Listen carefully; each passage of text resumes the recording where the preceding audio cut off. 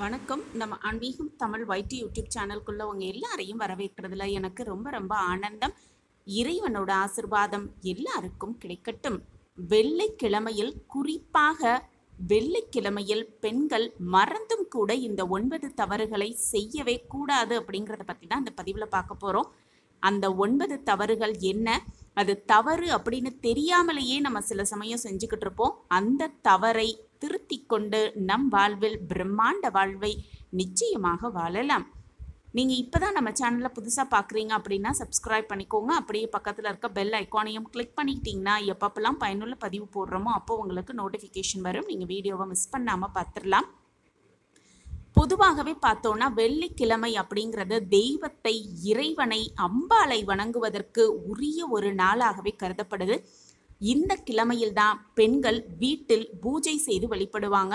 அப்படிப்பட்ட வெள்ளிக்கிழமையில் பெண்கள் வீட்டில் ஒரு சில தவறுகளை செய்யவே கூடாது அப்படின்னு சொல்லப்பட்டிருக்கு. அப்படி அந்த தவறை நம்ம செஞ்சுக்கிட்டே இருந்தோம்னா மகாலட்சுமியின் கடாட்சம் மகாலட்சுமியின் ஆசிர்வாதம் நமக்கு கிடைக்காம போகிறதுக்கான வாய்ப்பு நிறையவே இருக்குது அப்படிங்கிறதுனால தான் இந்த தவறை தவிர்த்து விடணும் அப்படின்னு சொல்லப்பட்டிருக்கு.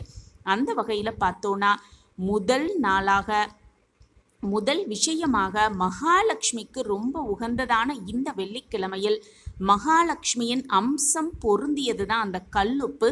அந்த கல்லுப்பை கொண்டு திஷ்டி சுற்றுவாங்க நிறைய பேர். கல்லுப்பை கொண்டு திஷ்டி சுற்றி அதை தண்ணீரில் அப்படியே போட்டுருவாங்க அது கரைந்து போகும். அப்படி கரைந்து போகும் பொழுது அந்த திஷ்டியும் கரைந்து போகும் அப்படிங்கிற ஒரு சாஸ்திரத்தின்படி இதை செய்வாங்க. இதை பொதுவாகவே பார்த்தோன்னா இந்த திஷ்டி கழிப்பது அப்படிங்கிறது எல்லா நாட்களிலும் இந்த கல்லுப்பை வைத்து செய்யலாம். ஆனால் குறிப்பாக இந்த வெள்ளிக்கிழமையில் திஷ்டி சுத்துவதை தவிர்த்து விடுவது அதுவும் கல்லுப்பை வைத்து திஷ்டி சுத்துவதை தவிர்த்து விடுவது மிக மிக நல்லது அப்படின்னே சொல்லப்பட்டிருக்கு. அடுத்த விஷயமா பார்த்தோன்னா சில பேர் பார்த்தோன்னா வீடு துடைக்கும் பொழுது அந்த கல்லுப்பை போட்டு வீட்டில் ஒரு பாசிட்டிவ் வைப்ரேஷன் இருக்கணும் ஒரு நல்ல சிந்தனை இருக்கணுங்கிறதுக்காக கல்லுப்பை போட்டு துடைக்கும் பழக்கம் நிறைய பேருக்கு இருக்குது அப்படி துடைப்பவர்கள் மறந்தும் கூட வெள்ளிக்கிழமையில் அந்த கல்லுப்பை வைத்து துடைக்கவே கூடாது. பொதுவாகவே வெள்ளிக்கிழமை வீடு துடைக்கக்கூடாதுன்னு சொல்லுவாங்க.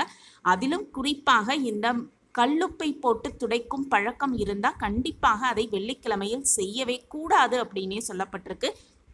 வீட்டில் சின்ன சின்ன பிரச்சனை வருவதற்கு இதுவும் ஒரு காரணமாக இருக்குது அப்படின்னு நம்ம தெரியாமலேயே இந்த செய் விஷயத்தை செய்து பிரச்சனை வருவதற்கு நாமளே காரணமாகிடுகிறோம் அதனால் மறந்தும் கூட இந்த கல்லுப்பை பொறுத்தவரை வெள்ளிக்கிழமையில் அதை தண்ணீரில் கரைப்பதை முற்றிலுமாக தவிர்த்து விடணும். அடுத்த விஷயமா பார்த்தோம்னா எப்பொழுதுமே வீட்டு வாசலில் கோலம் போடுவது மிக மிக சிறந்தது. பழைய காலத்துலலாம் வீட்டில் அரிசி மாவால் கோலம் போடுவாங்க வாசலில். ஏன்னா சின்ன சின்ன உயிரினங்கள் வந்து அந்த அரிசி மாவை உணவாக எடுத்துக்கொள்வதனால அது ஒரு தானமாக இருக்கும் அப்படிங்கிறதுனால வீட்டு வாசலில் அரிசி மாவால் கோலம் போடுவாங்க. ஆனால் இப்போ ஃப்ளாட் சிஸ்டமாக வந்துட்டதுனால நம்ம வாசலில் ஸ்டிக்கர் ஒட்டிடுறோம். இதை செய்வதை முற்றிலுமாக தவிர்த்து விட வேண்டும். ஒரு சிறிய அளவிலான ஒரு கோலம் அதுவும் அரிசி மாவால் போடுவது மிக மிக சிறப்பு.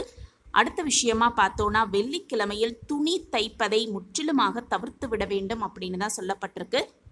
அது மட்டும் அல்ல வீட்டு வாசல்ல கோலம் போடாமல் அந்த வீட்டு பூஜை அறையில விளக்கு ஏற்றுவதை முற்றிலுமாக தவிர்த்து விடணும். கோலத்தை போட்டுவிட்டு தான் பூஜை அறையில வந்து விளக்கேற்றணும் அப்படின்னே சொல்லப்பட்டிருக்கு. அது மட்டும் அல்ல பெண்கள் வெள்ளிக்கிழமைனா தலைக்கு குளிப்பாங்க. அப்படி தலைக்கு குளிக்கும் பொழுது ஈர துணியோடோ அல்லது ஈரமான தலையோடோ பூஜை செய்யவே கூடாது அப்படின்னு சொல்லப்பட்டிருக்கு.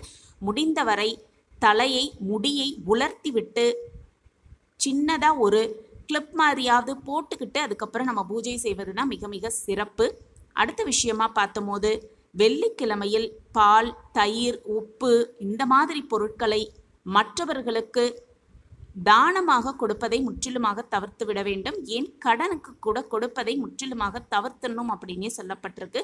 அடுத்த விஷயமா பார்த்தோன்னா வெள்ளிக்கிழமையில் பெண்கள் நெற்றியிலும் நெற்றி வகிட்டிலும் குங்குமம் வைக்காமல் இருக்கவே கூடாது. அது மட்டும் அல்ல வளையல் அணியாமல் முற்றிலுமாக இருக்கவே கூடாது அப்படின்னு சாஸ்திரத்தில் சொல்லப்பட்டிருக்கு. இந்த மாதிரி விஷயங்களை நம்ம செஞ்சுக்கிட்டு இருந்தோம்னா முடிந்தவரை அந்த விஷயங்களை தவிர்த்து விடலாம். அதிலும் குறிப்பாக வெள்ளிக்கிழமையில் இதை செய்வதை முற்றிலுமாக தவிர்த்துவிட்டு நம் வாழ்வில் சந்தோஷமாகவும் சகல சௌபாக்கியத்தோடும் நிம்மதியாகவும் வளமாகவும் நலமாகவும் வாழலாம். இந்த பதிவு உங்களுக்கு பயனுள்ள பதிவாக இருக்கும் நான் நம்புறேன். மீண்டும் ஒரு புதிய பதிவில் பார்க்கலாம். நன்றி வணக்கம்.